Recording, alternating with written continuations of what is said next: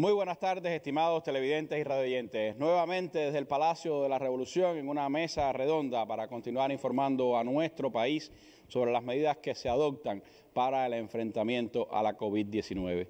Hace menos de una hora acaba de concluir la reunión presidida por el compañero Miguel Díaz Canel Bermúdez, presidente de la República, para el chequeo diario de las acciones del país frente a esta enfermedad, reunión conducida por el primer ministro y con la presencia de miembros del gobierno y otras importantes responsables de las tareas que se acometen en el Plan Nacional de Enfrentamiento.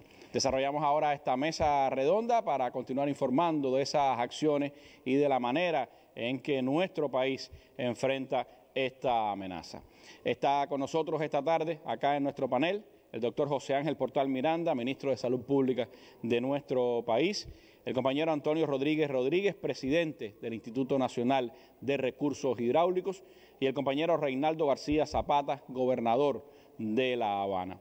También me acompañan acá en un auditorio responsable, como verán en las imágenes, miembros del Buró Político y el Secretariado del Comité Central del Partido, la compañera Inés María Chama, viceprimera ministra de nuestro gobierno, ministros y los principales dirigentes de los comités de defensa de la revolución y la Federación de Mujeres Cubanas. Con ellos estaremos desarrollando esta mesa redonda. A usted lo invito a que nos acompañe para que tenga información de primera mano, información responsable sobre cómo Cuba enfrenta a la COVID-19.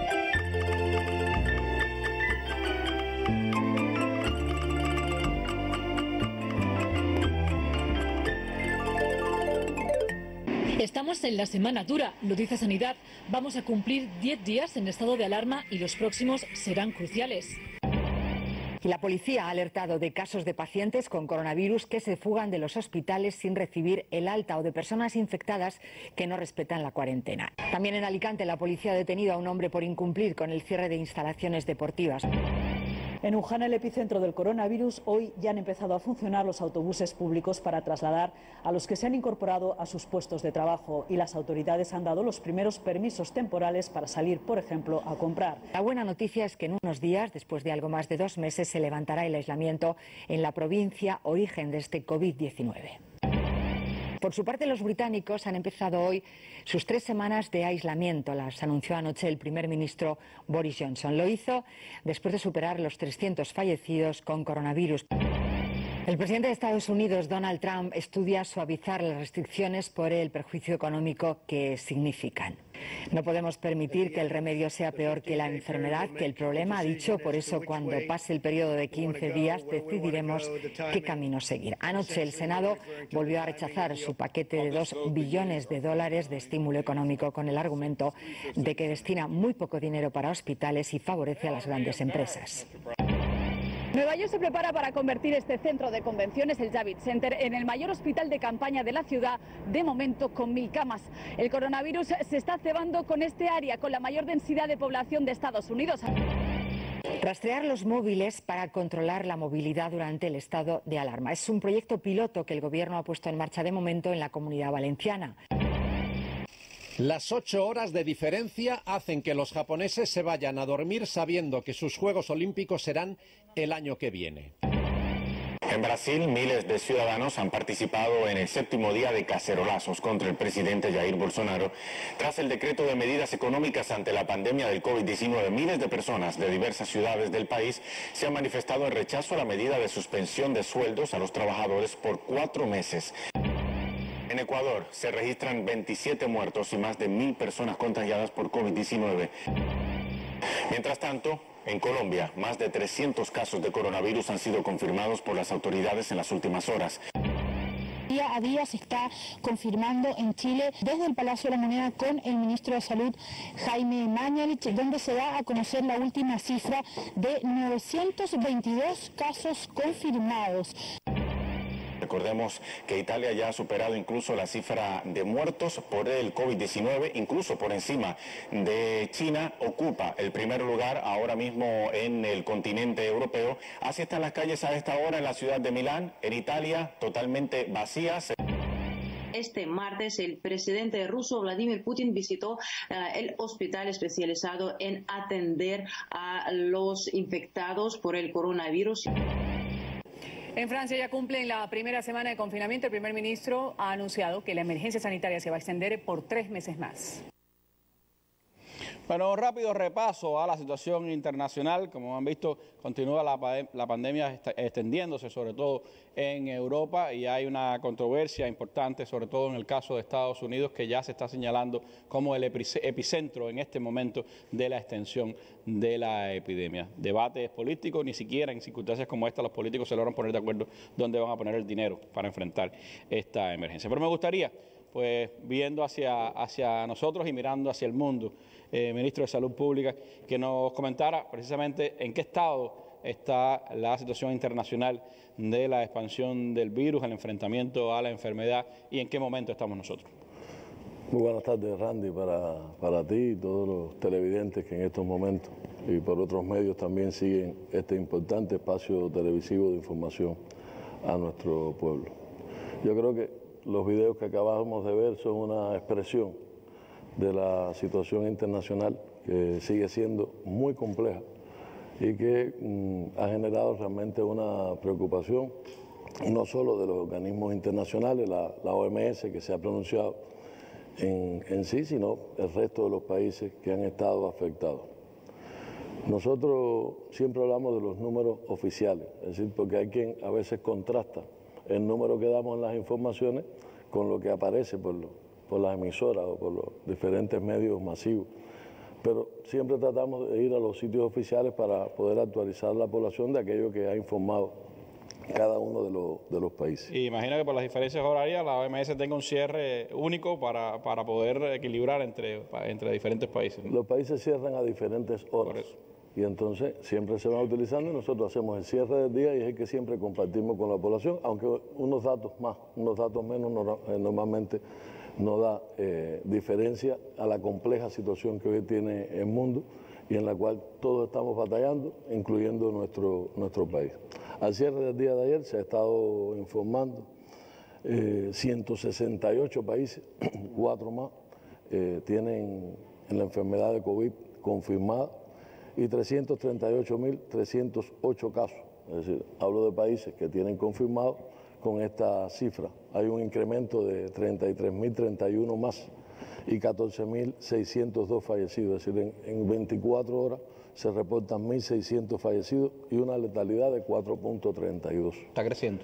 Sigue creciendo, aunque son cifras mínimas, pero se ha mantenido por encima de 4, lo que habla de, la de lo peligroso que es esta enfermedad.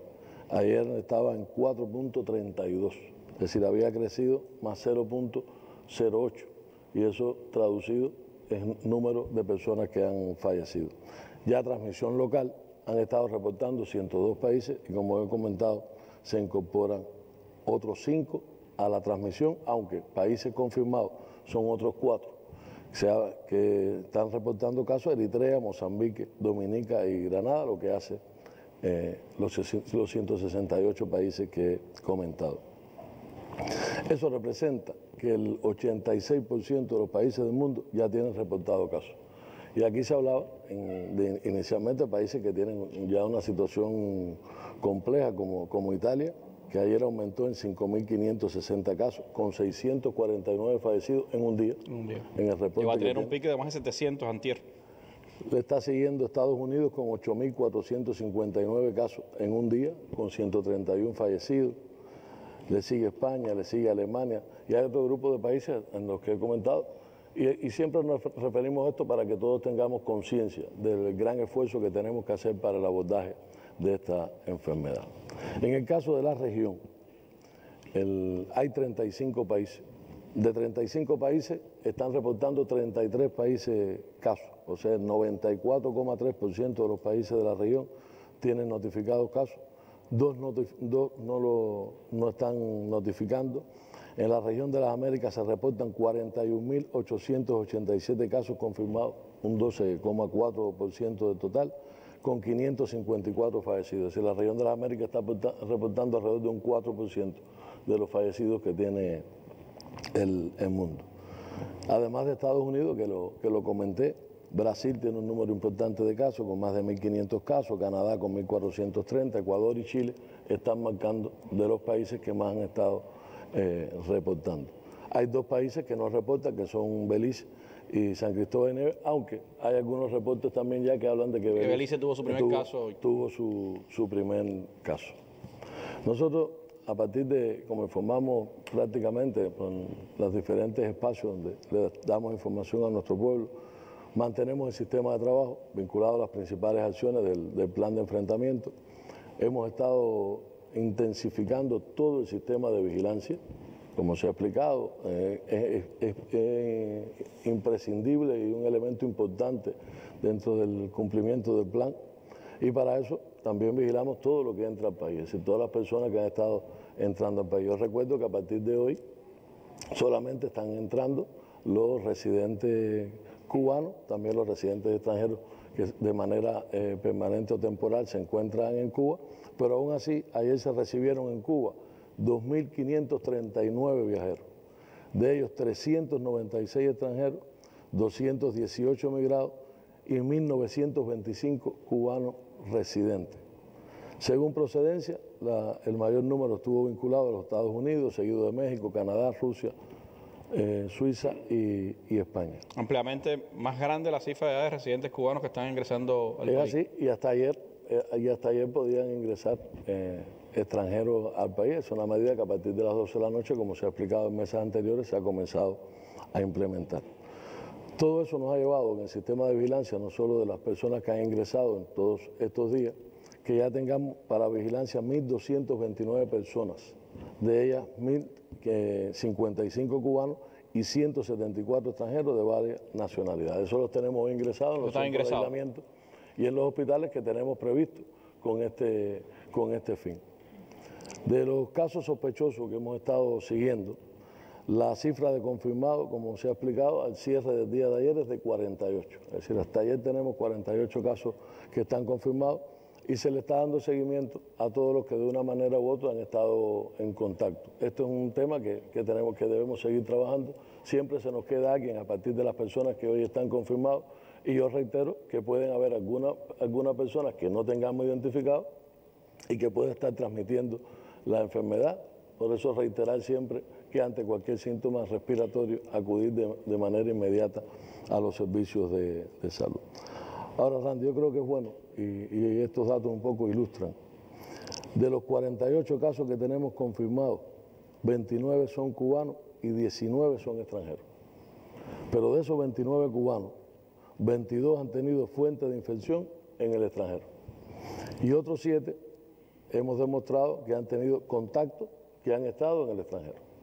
Yo reitero, puede haber algún caso, pueden aparecer algunos otros casos en la pesquisa intensa que estamos haciendo en todo el país, pero de esa manera se ha estado comportando y de ahí la importancia de las medidas que se han estado aplicando. Es decir, eh, se explicaba en, días recientes que nos hemos un poco adelantado a la fase en que se ha tomado la decisión de, en frontera, pero era necesaria, porque prácticamente todos los casos que hemos tenido han estado vinculados o han estado en el, en el exterior. El hecho de que, sea, de que sean en su mayor parte cubanos que han regresado de, viaje o que han venido eh, al, país de, visita, eh, ha, hecho, por supuesto, la decisión de que a partir de hoy, junto con su única posibilidad de entrar al país para ellos, también esté el periodo este de, de aislamiento. Ahora, los que han venido antes, eh, doctor, que han llegado en los últimos días, por ejemplo, y no han estado en el aislamiento eh, que van a tener los que llegan desde las 12 de la noche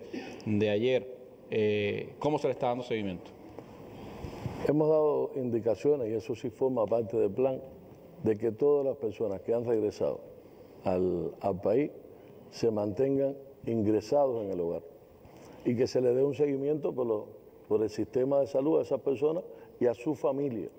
Porque puede pasar, y en eso hemos insistido muchas veces, que la persona venga de manera asintomática, esté en la casa, eh, insistimos siempre en el periodo de incubación de esta enfermedad, eh, saber que es de, hasta 14 días y que una persona que está en contacto con el virus puede desarrollar la enfermedad o, los síntomas en, 14 días y a veces aparentemente una persona se confía y complica a la familia y a todas las personas con las que puede estar en, en contacto. Entonces, por eso la indicación de que las personas que han regresado antes de esta medida, todas se mantengan en el hogar que estén bajo supervisión médica y sobre todo con disciplina, porque a veces es verdad que el médico no le llega, no le llegan los, factores de la comunidad, pero aquí tenemos que llamar también a la responsabilidad de la familia y de las personas que ante la presencia de un síntoma respiratorio acudan de inmediato a los servicios de salud.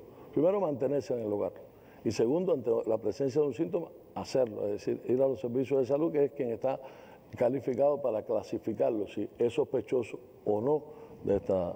Y no hablo solo de los viajeros, hablo solo de, hablo, eh, de todas las personas que en estos momentos en Cuba puedan tener síntomas respiratorios, porque pueden haber estado en contacto sin, sin, tener la intención o sin conocerlo, haber estado en algún lugar donde haya estado una persona que haya sido positiva a la enfermedad, sin embargo, haber tocado una superficie y poder entonces ya eh, poder eh, presentar el, este, Puede ser este un contacto indirecto incluso, no, no directamente con la persona. Por eso, por eso me refiero que ante cualquier síntoma acudir de manera inmediata. Se mantiene el sistema de vigilancia de los virus respiratorios, yo en eso no voy a insistir, siguen circulando otros virus respiratorios, por eso la clasificación es muy importante. Ayer mismo, hablando, cuando hablábamos de la pesquisa, fueron tocados por nuestros médicos, por nuestros trabajadores, por las organizaciones de masa que están participando también de manera activa en todo este proceso, más de 3 millones de cubanos. Y el 1% de esos cubanos que tenían síntomas respiratorios y estaban en la casa. Por lo tanto, es un tema que es importante y que necesita la participación eh, de todos. Comentar mm, que ahora en horas de la tarde se mantienen los casos graves, es decir, no hemos incorporado de ningún nuevo caso grave. ¿Siguen esos tres que teníamos? Siguen los mismos tres, eh, los dos que tenemos en el IPK, eh, que se encuentran en un estado crítico, nosotros lo, mantenemos así y se sigue trabajando con ellos de manera intensiva y uno grave que está en el hospital de, de Oquín. El resto de, de, los pacientes que hoy están confirmados la enfermedad se mantienen de manera estable y el resto también que tenemos ingresado en, nuestra, en nuestras institución. ¿Se ha dado alguna alta ya hospitalaria, ministro? Ya se dio la primera la primer alta hospitalaria, es decir, el, caso que, se había informado que había sido contacto de una paciente, de una persona que vino del exterior, después de transcurrido su, el tiempo establecido en nuestra institución, salió de alta con la indicación de que va durante 15 días más en vigilancia para su hogar. Es decir, evolucionó muy bien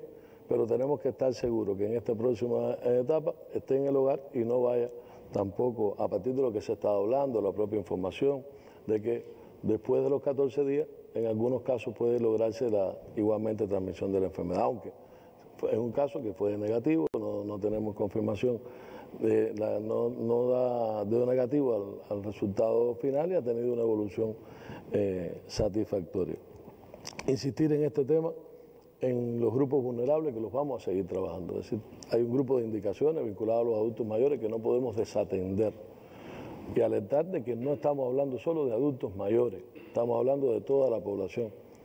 Uno de los casos que tenemos ingresado hoy no es un adulto mayor.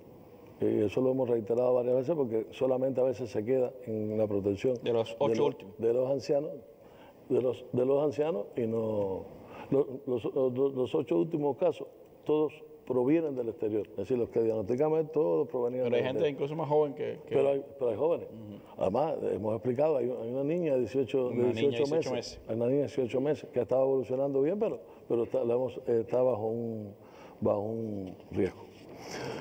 Ahora, hay un grupo de, eh, vinculado a este tema, se tomó la decisión de habilitar los centros para aislamiento de todas las personas que a partir de, de ayer de la madrugada, de hoy van al aislamiento y vigilancia en los centros que hemos creado en el, país. Eso se explicó, pero aún así, aunque era una medida que, debíamos comenzar en el día de hoy, ya desde ayer algunas provincias comenzaron ya el aislamiento en, cada, cada uno de los territorios. Y hoy se ha empezado a cumplir con todos los viajeros que han llegado al país en la vigilancia, en los centros que tenemos creados para este fin. Y hay, algo curioso, antes de llegar a la mesa redonda me, hacían un comentario de que ha habido personas que llegaron hace dos días y prefirieron ir a este centro de su casa porque dice que él quería proteger a su familia. Es decir, que él prefería que venía de un lugar donde había complicación, que él no tenía síntomas, pero quería eh, pasar en, que no es lo que hemos indicado, pero, pero también lo recibimos en función de esto. Cada una de las provincias ha seleccionado las instalaciones que tiene previsto con, con los requisitos. Son, son instalaciones que se han ido adecuando, son instalaciones adecuadas para lograr esta acción. Nosotros no tenemos ese nivel de instalaciones para... Y sin embargo, con la participación de los organismos se, se han podido preparar. Nosotros mismos en La, en la Habana estamos participando con tres instalaciones de salud pública que constituyen escuelas.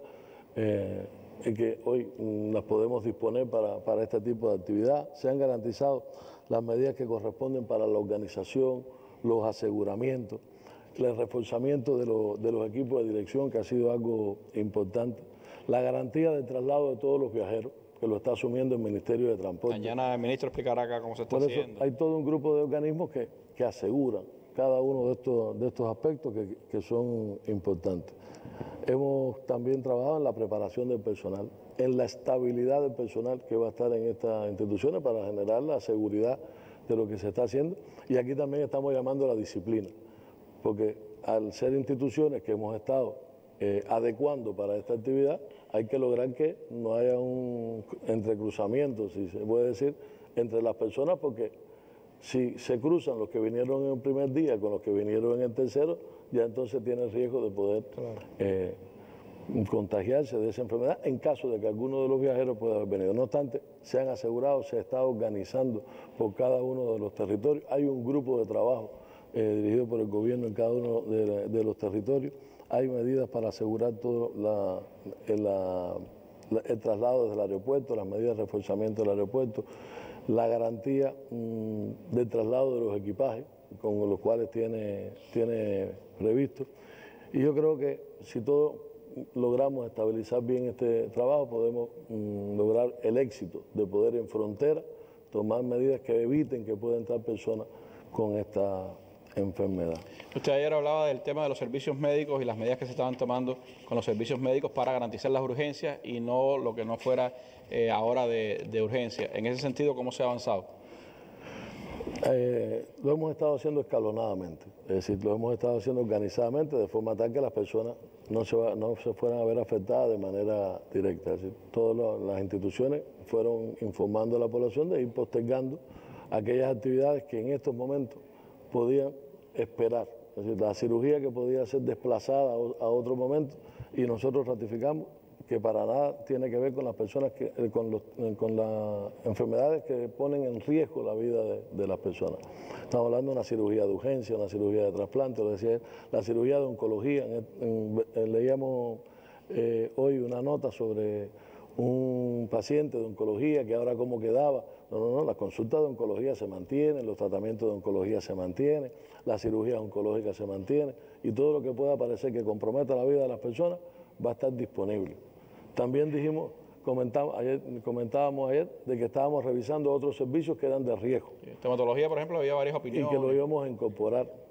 Y anoche lo analizamos. Y aun cuando lo hablábamos uh -huh. como de los temas que lo estábamos, no lo hicimos público ayer porque lo estábamos analizando de qué manera hacerlo, de qué manera organizarlo, porque también es un servicio que es sensible. Pero es un servicio de muy alto riesgo. Es un servicio de, de estar de, muy cerca de, la, de las personas que la tecnología que utiliza dispersa aerosol, eh, aerosoles, por lo tanto puede poner en riesgo tanto al, a la persona que está sentada en el sillón estomatológico como al personal de, de la salud. Por lo tanto definimos eh, también de tener por el, en, en, este momento todos los servicios de, de estomatología, pero se van a mantener todos los servicios de urgencia. Es decir, todos los servicios de estomatología que en el país tienen hoy los servicios de urgencia, se van a mantener todos los servicios de urgencia para que la población pueda acudir a ellos. E incluso hemos evaluado en los lugares de aislamiento, que es donde vamos a tener eh, estas personas que, que, están ingresando al país, vamos a preparar estomatólogos con sillones móviles, por si se presenta alguna emergencia, también hacerlo. Yo creo que esto es una medida que también va a entender el pueblo, que va a permitir que no haya aglomeración de personas y que también se van a proteger ellos y vamos a ir protegiéndolos. Tengo un encargo que, que, que no puedo eh, terminar sin, sin él y, y, tiene que ver con una duda que, que se ha mantenido en la población, aún cuando se explicó ayer, y tiene que ver con los círculos infantiles. Eh, bueno, que hace el ministro de Salud hablando de los círculos infantiles, pero los círculos son de todo y de alguna manera todos tenemos que ver con esto. Y es que los círculos infantiles se mantienen prestando servicios. Es decir, los círculos infantiles se van a mantener prestando servicios. Es voluntario que los niños asistan, es decir, la voluntariedad de los niños es una decisión de la familia. Se ha, decidido mantener este servicio porque hay madres que por las actividades económicas o sociales importantes que, realizan, lo necesitan. Por lo tanto, se va a hacer. Se ratifica que en los, que en los círculos infantiles hay condiciones para, eh, con todo rigor, se han creado las condiciones con todo rigor para atender a los niños. Es decir, el Ministerio de Educación mm, ha garantizado estas medidas. El niño que no asista no va a perder su matrícula, que es un elemento que es importante ratificarlo, es decir, no porque no asista pierde su matrícula. Y se ha extendido también el horario de entrada hasta las 9 de la mañana y puedes también salir antes de, la, de las 3 de la tarde. Hay un tema, Randy, que, también me robo un minuto y mis compañeros me van a entender, porque salió también que es el tema del programa materno-infantil. Eh, salió dentro de una de las preocupaciones de la población vinculada, que cómo quedan las embarazadas. Todas las consultas que protegen los grupos vulnerables de nuestro país se mantienen, las consultas médicas se mantienen. Lo que estamos tratando de mantener el número de personas que no deban de asistir a los hospitales, y, tratar de tener lo menor eh, el número de, personas conglomeradas. Insistir en el tema de la información por los sitios oficiales, que las personas se mantengan informadas de todas las medidas sanitarias que se están dictando, del cumplimiento de la disciplina. Cuando se habla de distanciamiento social es una medida clave. De hecho, cuando uno lo mira por todos los medios, por todos los planes de los países, se ha marcado como el elemento fundamental todo lo que pueda hacer. Nadie puede sustituir lo que le corresponde a cada cual en su protección. Y yo creo que en la prevención, la que la prevención está en el éxito de todo. sin duda son recomendaciones muy importantes. Hay decisiones que se han ido tomando a lo largo de estos días para seguir reforzando la atención, pero lo principal es la disciplina, mantener las medidas de higiene y también pues autocuidarnos todos nosotros, eh, como se ha dicho, bueno, mantener las colas responsables en aquellos lugares donde hay que ir a comprar, hacer todo lo que sea posible por tener todas las medidas tomadas. Y también está pues la decisión de nuestro gobierno de a partir de esta madrugada, es decir, de las 00 horas de hoy, comenzar a implementar la entrada al país solo de los residentes en Cuba y que todos ellos tengan que pasar pues eh, el aislamiento, el periodo de aislamiento de 14 días. Así lo han preparado en Villa Clara y este reporte lo hemos recibido desde esa provincia. El primer centro de aislamiento de Villa Clara para cubanos que arriban al país se ubica en el Hotel La Riviera y ya aquí están creadas las condiciones materiales y de recursos humanos. El primer lugar en Villa Clara va a ser el Hotel Riviera, un hotel de la instalación de la empresa alojamiento nuestra, que tiene aproximadamente 100 capacidades. Hemos previsto, están todas las condiciones, con todas las garantías. Es un centro de aislamiento y de vigilancia, con todo el personal de salud, con el mínimo de condiciones de alimentación, de todas las condiciones.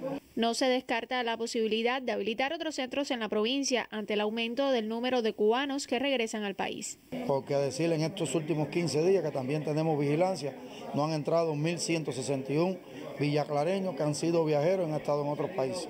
Estamos haciendo una evaluación y tenemos condiciones para ir incrementando progresivamente esos centros de recepción donde vamos a tener vigilancia a todo el viajero que llega a la provincia y que va a ser trasladado de forma segura al país. Desde Villa Clara, Griselis Moreno, Sistema Informativo de la Televisión Cubana.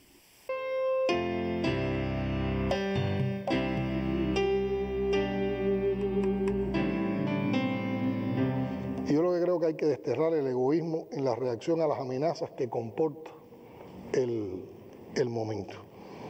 Entre nuestras fortalezas siempre la solidaridad ha sido un valor fundamental y es la solidaridad un valor que tenemos que potenciar en momentos como estos. Y cuando esta epidemia pase, nos abrazaremos para celebrarlo con todas las ganas que esta prohibición ahora nos impone.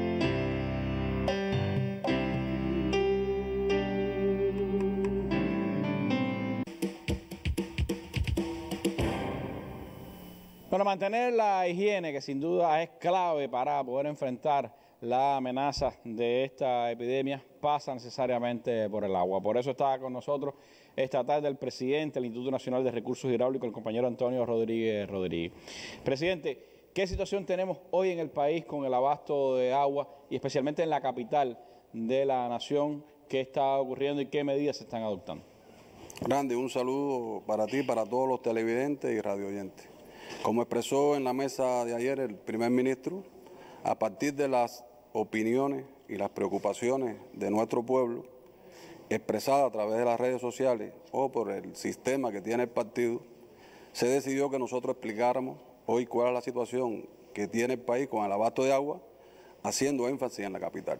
Y como también expresado el primer ministro, esto es un tema que está siendo atendido en el caso de la capital y las otras provincias por la máxima dirección del gobierno y del partido en la capital, con un seguimiento diario de la dirección del instituto en La Habana y con la presencia de la viceprimera ministra Inés María Chama, que nos acompaña de forma permanente. Y en el día de ayer, como hoy se pudo ver en el noticiero del mediodía, hubo una reunión presidida por el presidente de la República y otros altos dirigentes con el objetivo de adoptar las medidas necesarias para mejorar el abasto en medio de la situación de sequía que atravesamos. Yo quería inicialmente dar el estado en que se encuentra la lluvia acumulada en febrero y en lo que va en mes de marzo en todo el país para después concentrarnos en el caso de la capital. En el occidente nos ha llovido el 51% acumulado enero y febrero y un 7% en lo que va de marzo hasta el día 23 de marzo. En el centro nos ha llovido el 48% en enero y febrero y un 16% en lo que va de marzo. Y en el oriente nos ha llovido, que es donde mejor se ha comportado, un 79% en enero y febrero, solo un 15% en lo que va de marzo. Y de forma general en el país nos ha llovido el 61% en enero y febrero y solo un 13% en lo que va de marzo. Los pronósticos del Instituto de Meteorología es que se siga comportando con déficit al cierre de marzo y también en el mes de abril. Por eso tenemos que extremar las medidas en el uso del agua y también acelerar todas las medidas que teníamos previsto para el plan de la economía. Esto ha provocado que en el día de hoy existen en el país 111 fuentes afectadas, 89 de forma parcial y 22 de forma total.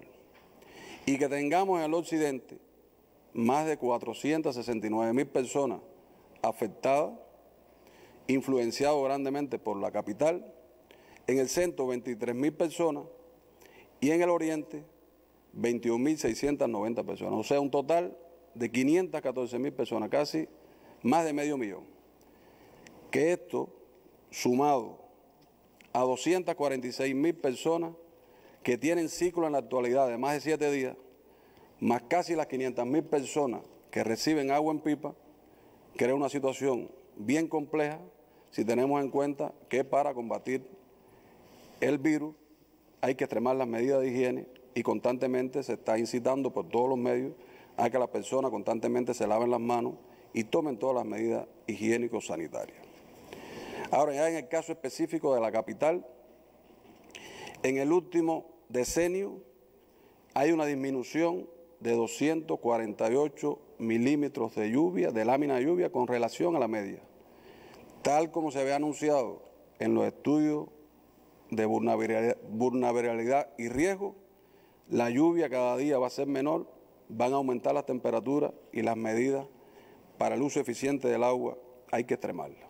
En el caso específico de la capital, no es solo la lluvia de la capital, que en enero y febrero acumula el 43% La Habana y en el mes de marzo solo acumulan un 1%, sino que las principales cuencas que tributan a la capital, que se encuentran en Artemisa y Mayabeque, en, Artemisa llovió en enero y febrero el 65% y solo un 7% ha llovido en marzo. Y en Mayabeque llovió el 32% en enero y febrero y solo el 13% en el mes de marzo. Las principales cuencas que abastecen la capital, de las cinco cuencas hay una sola en estado favorable, Cuenca Sur. El resto de las cuencas están en estado desfavorable, con 365 días de cobertura en Cuenca Sur, 153 días en Ariguanao, 50 días en Mendares Vento, una situación bien compleja, Jaruco con 142 días y el sistema Coca Salsa con 224 días. Tenemos una ventaja que se ha ido trabajando en la capital en interconectar los sistemas, lo que nos permite ir moviendo el agua de un sistema para el otro. Para que la población tenga una idea, en enero teníamos un déficit de 1.509 litros por segundo en la capital. Ya en el mes de febrero subió a 1.827 y en el mes de marzo el déficit es de 2.447 litros por segundo. En la anterior sequía 2016-2017 el déficit era de 1.595 litros, o sea que es muy superior en este momento. Lo que hay un grupo de obras que se han ejecutado desde esa fecha hasta la actualidad que nos han permitido que si en el 2017, con una situación menos desfavorable, había un millón de personas afectadas y 72 mil personas tirándole agua en pipa, ahora tenemos un poco más de 50 mil tirándole agua en pipa y 468 mil personas afectadas, gracias a las obras que se han venido ejecutando por el Plan Hidráulico Nacional.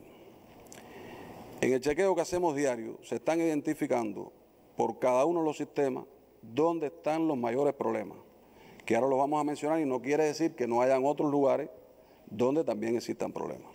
En el sistema oeste, o sea, en Playa Alicia y Marianao, las mayores afectaciones están en los consejos populares Posito Palmar, Zona Alta de Miramar, Almendares, Buenavista, Balcón Arimao, Punta Brava, Versalles y San Agustín.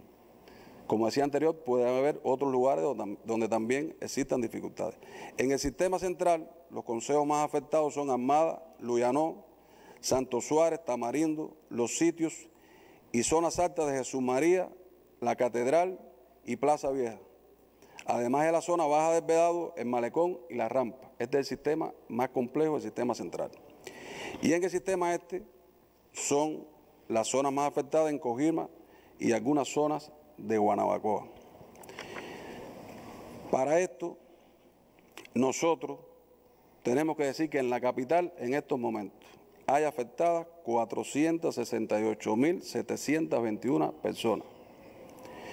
Por cambio de ciclo, 255.753 habitantes, o sea que tenían un ciclo diario o días alternos y se ha tenido que aumentar el ciclo. Por cambio de horario, que el cambio de horario puede ser que tuviera servicio por la noche y ahora lo tenga en otra hora, lo tenía por el día, lo tenga por la noche, o que tenga menos horas de servicio que lo que tenía anteriormente, y abastecido por pipa 58.504 habitantes. Para este servicio por pipa tenemos un grupo de cisternas propia de Agua de La Habana y otro grupo que se han movilizado de los organismos para poder suplir estos déficits. Los, donde, los municipios donde más personas hay afectadas es en Arroyo Naranjo, en Centro Habana, en La Habana Vieja, en La Lisa y en Boyero, aunque en todos los municipios hay personas afectadas en mayor o menor medida.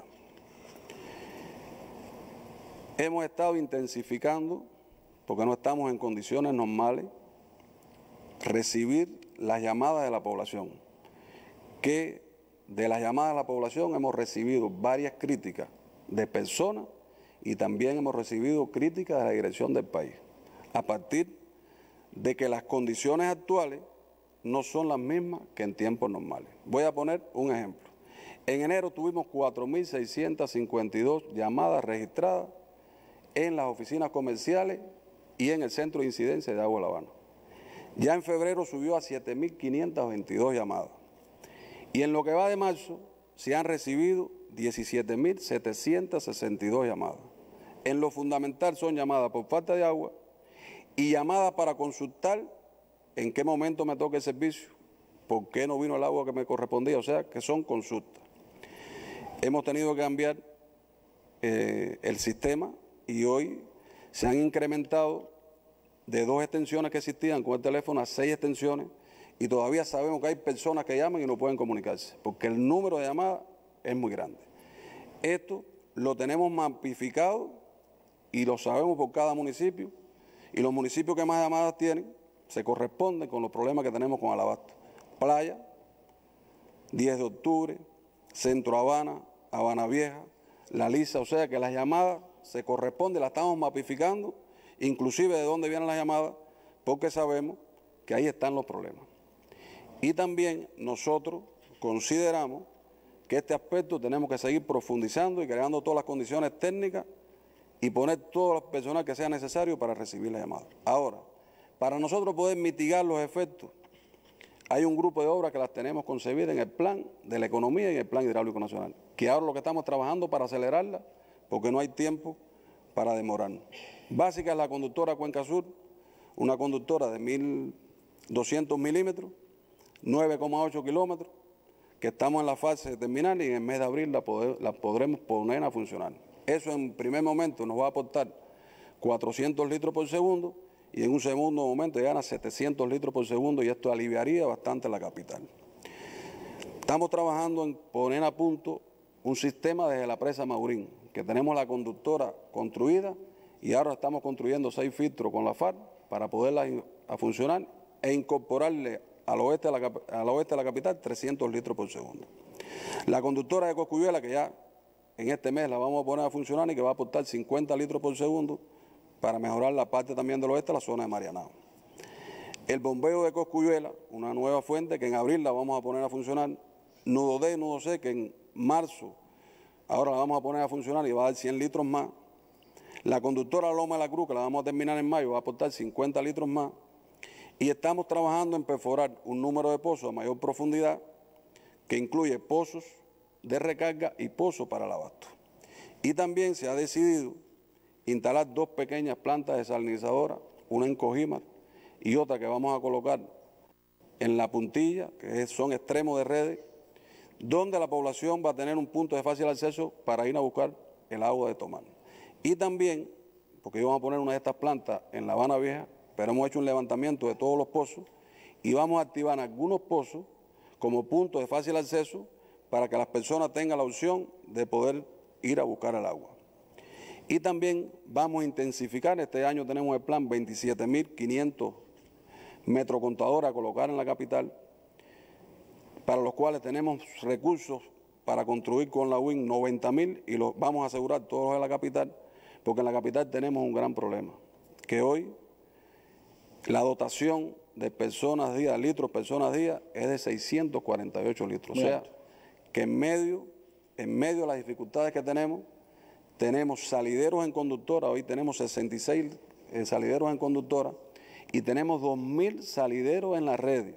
Iniciamos en MECO 2.500 y se está haciendo un trabajo diario para ver cómo lo disminuimos, porque es una de las cosas que la población nos critica, que estamos instando a la población que ahorre y nosotros tenemos un número de salideros en lo cual se está trabajando y debemos agilizar más los trabajos. Esto para que conozca también la población, nosotros ya hemos logrado en la capital rehabilitar el 78% de las conductoras, pero solo el 36% de las redes. Y es uno de los problemas que tenemos que trabajar. Por otro lado, hay un grupo de obras a mediano plazo y otras a largo plazo que las estamos trabajando para ver cómo nosotros en las próximas sequías tengamos una mejor situación. También se está sequeando, para que tenga a la población una idea, hay muchas personas que eventualmente hay que servirle agua en pipa a partir de que ponemos el agua para los lugares y no nos llega por las presiones.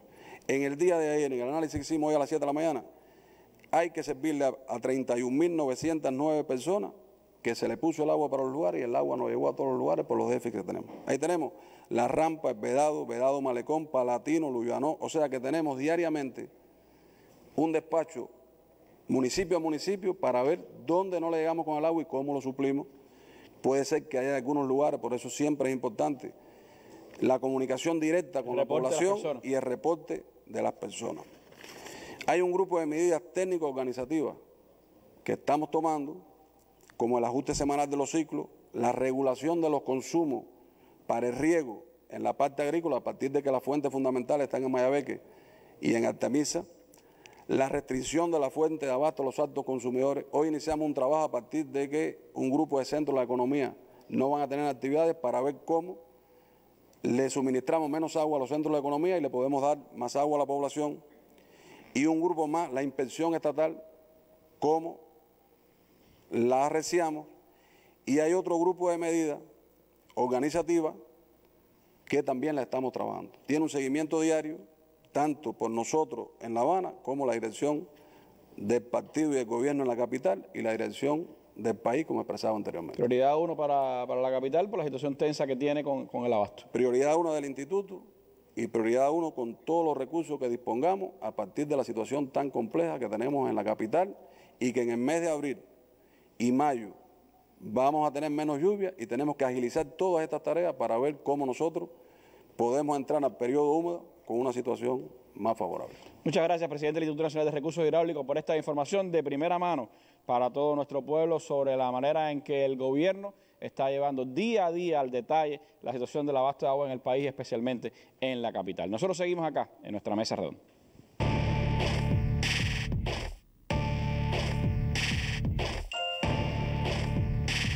Un espacio para el análisis de los más importantes acontecimientos de Cuba y el mundo. Con la participación de reconocidos analistas y personalidades. Mesa Redonda, más allá de la noticia. Bueno, la capital del país no solo tiene que enfrentar el desafío del agua, tiene que enfrentar numerosas medidas también que aplicar en medio de esta situación del peligro de lo que significa la COVID-19, su presencia en nuestro país. Por eso está con nosotros el gobernador de la capital, compañero Reinaldo García Zapata. Me gustaría, gobernador, que nos hablara de las medidas que ha ido adoptando la capital para cumplir con las decisiones del Plan País para enfrentar la COVID-19 y qué eh, podemos seguir haciendo como eh, capitalinos para enfrentar una situación como esta. Sí, gracias Randy. Buenas tardes a todos los presentes y a todo nuestro querido pueblo. Como se informó en el día de ayer, ya se activaron los consejos de defensa provinciales, los consejos de defensa municipales en composición reducida y ya estamos trabajando como consejo de defensa. Aunque bueno, en el caso de la provincia teníamos un grupo de trabajo temporal que durante semanas ha venido trabajando, presidido, dirigido y conducido por nuestro primer secretario del partido y por nosotros para atender los principales aseguramientos que eh, garanticen la, vitalidad de los principales servicios a la población en el caso de la, de la capital.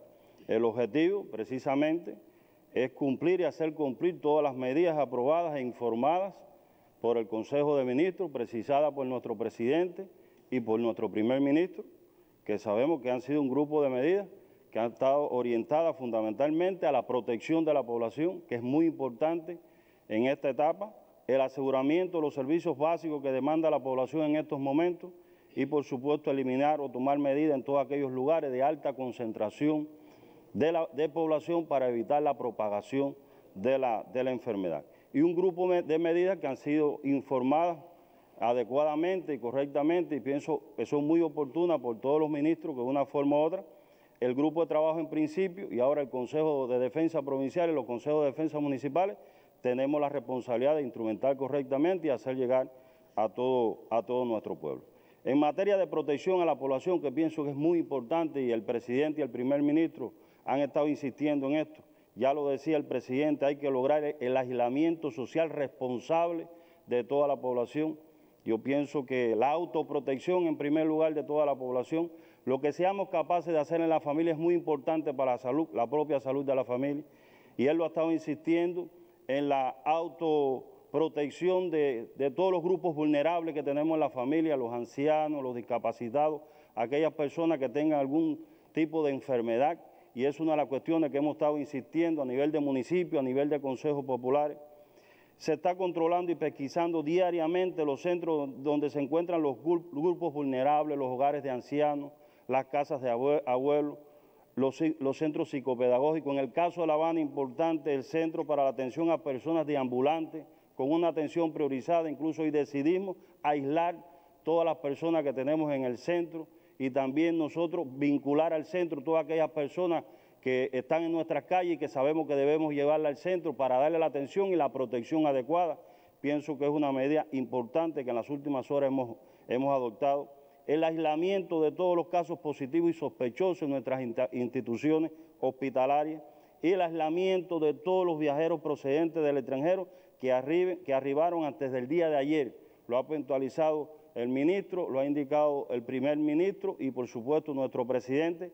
Y eso lo discutíamos incluso hoy en, los centros aquí en, en el Consejo de Defensa Provincial, la responsabilidad que asumen los consejos populares. Hemos insistido, hemos creado grupos de trabajo a nivel de consejos populares con la participación de los factores del Consejo, los CDR, la Federación, o sea, todos los factores que puedan ayudar en la vigilancia a esas personas que están aisladas en su vivienda y también ayudarla, ¿por qué no? Así lo hemos concebido, para que también esas personas tengan vitalidad y garantizarles los aseguramientos principales para que puedan cumplir responsablemente eh, la, cuarentena, a los cuales obligatoriamente tienen que, que asumir. Es una de las cuestiones que nosotros debemos dar seguimiento. Aislamiento de todos los turistas que se encuentran en las instalaciones hoteleras, ya lo reiteraba el primer ministro en el día de ayer, nosotros tenemos 3.875 turistas que ya se ha hablado con ellos, las instalaciones hoteleras están todas las condiciones creadas para lograr la vitalidad de, todo, de todas esas personas. Se trasladan más de 5.620 turistas que se encuentran en casa de renta hacia los hoteles. Esos son turistas, porque se ha, ha existido una confusión en algunas personas, incluso que tenemos técnicos extranjeros en estas casas de renta, esa es su vivienda y por supuesto tienen que quedarse y actuar responsablemente en esos lugares, o los estudiantes extranjeros también que se encuentran en casas de renta, eso no tienen que trasladarse hacia los hoteles y una de las cosas que se ha estado insistiendo, pero ha existido disposición de los turistas que tenemos en estas condiciones y también de los dueños de, esas viviendas que incluso han llamado al gobierno de la provincia, a los municipios, se han acercado hacia dónde deben trasladar los turistas que tienen en su vivienda y eso es un proceso que comenzó hoy, marchó bien hoy y le daremos seguimiento en los próximos días. Y como bien se ha hablado aquí, importante el aislamiento durante 14 días en los centros habilitados que desde ayer se habilitaron para todos los cubanos residentes en el país que arriben a nuestro querido país. Eso desde anoche, la experiencia ha sido muy buena porque se organizó bien. En el caso de la ciudad, tenemos un puesto de dirección en el aeropuerto, con todas las autoridades del transporte, las autoridades de salud pública, las autoridades del gobierno, que cuando lleguen esas personas al aeropuerto, aparte de los trámites rigor que se realizan, se le explica el porqué de la medida, hacia dónde van las características del centro, como bien ha expresado nuestro ministro de Salud Pública, se les garantiza el transporte hacia el lugar del aislamiento y se garantiza el transporte también hacia otras provincias, porque no todos los que arriban a la capital tienen residencia en la capital, sino otras provincias, y se han realizado las coordinaciones con todas las provincias en función de que puedan recibir y eh, lograr aislar esas personas a partir de que llegue a su provincia. Eso ha funcionado muy bien hoy. La actitud de, de todos los compañeros que han tenido que aislarse ha sido consecuente y en los centros habilitados se han creado también puestos de dirección por autoridades políticas, autoridades del gobierno, administrativas, de salud pública y se han creado las condiciones de habituallamiento, alimentación, puestos médicos, servicios adicionales, por si así lo requiere, para, el tratamiento de estas personas. Eso es una medida importante que tiene que ver con el, aislamiento. Otro, otra de las medidas que tiene que ver con el aseguramiento de los servicios básicos de la población, yo pienso que en este momento es importante, se han habilitado más de 770 puntos de venta de comidas para llevar todas las unidades que puedan hacer comida para llevar, estamos estimulando eso, no solamente las instituciones estatales, sino las cooperativas, los trabajadores por cuenta propia, y eso lo estamos estimulando incluso a nivel de Consejo Popular para acercarle ese servicio a la población.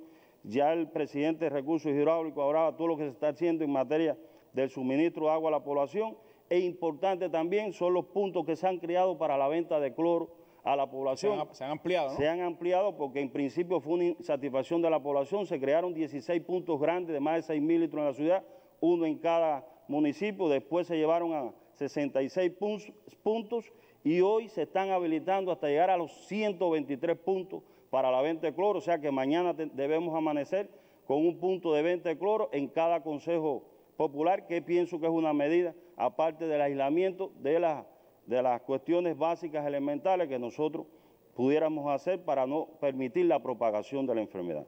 Solo trabajar eficientemente, responsablemente, con mucha intensidad y con mucha, participación de todo el pueblo, con la disciplina que siempre ha acostumbrado el pueblo de la capital.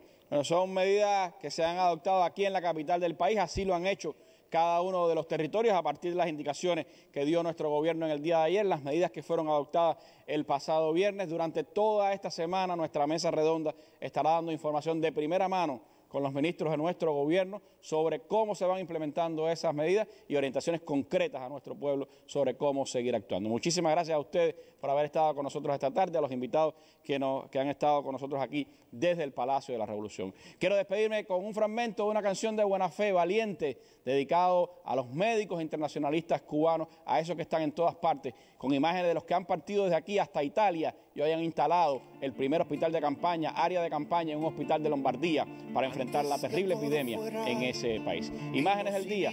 Muy buenas noches. Antes que todo sea negociaciones, hay un preludio espeso, desafinado, altísimos silencios de sin razones y el miedo va goteando de los valientes. Antes que los sudores y que la sangre el instinto genuino que ya le advierte ver de destino se le hizo tarde